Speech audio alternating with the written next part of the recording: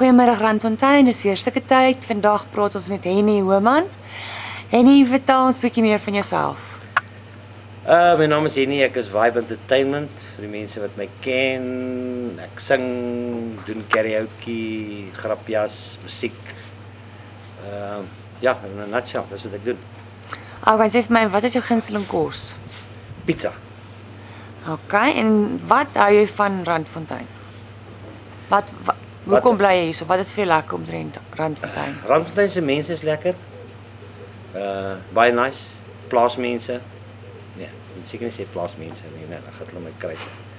Uh maar is lekker, is 'n family tipe tipe mens so. OK, sê vir my, is jy, is jy getroud of verloof of Ek weet is jy? verloof. Pietro my verloofde, sing ook saam met my op shows, baie mooi stem. Uh Mother Teresa, haar.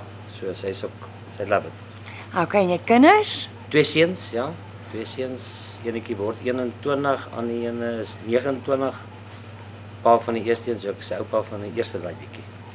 OK, en sê vir my, ehm, um, kan jy nie sê vir my, uh wie se twee gunsteling sangers? Uh eerste Steve Hofmeyer, tops. En dan die tweede een Neil Diamond.